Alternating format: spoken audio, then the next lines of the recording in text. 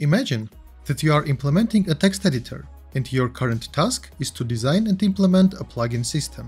Plugins are small and primarily implemented by the community programs that take an editor's context and manipulate it.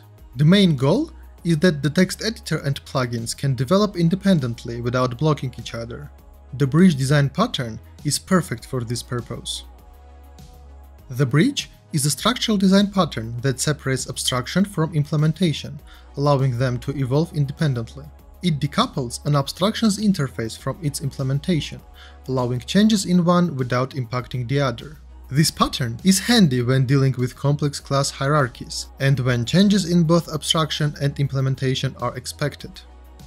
First, let's create a plugin system interface that has a single method that takes a plugin as an argument.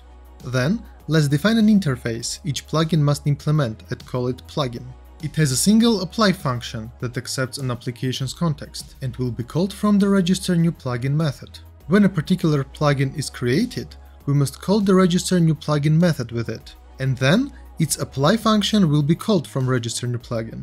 The apply function can now manipulate the context, add context menus, change the text, add callbacks, and so on.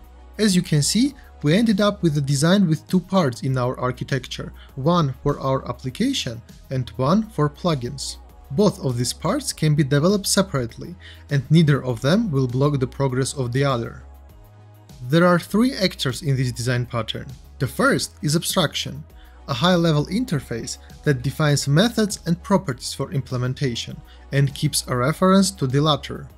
The next one, implementation, is a low-level interface that defines the method and properties to be implemented by concrete classes. Concrete implementations are subclasses of implementation that provide the actual implementations. The bridge design pattern comes with various advantages.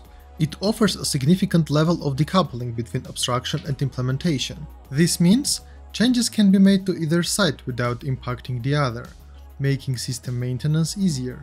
Additionally, the pattern facilitates extension, allowing new abstractions and implementations to be added independently without much fuss. On the flip side, it can introduce additional complexity to the system, particularly when there are multiple levels of abstraction and implementation.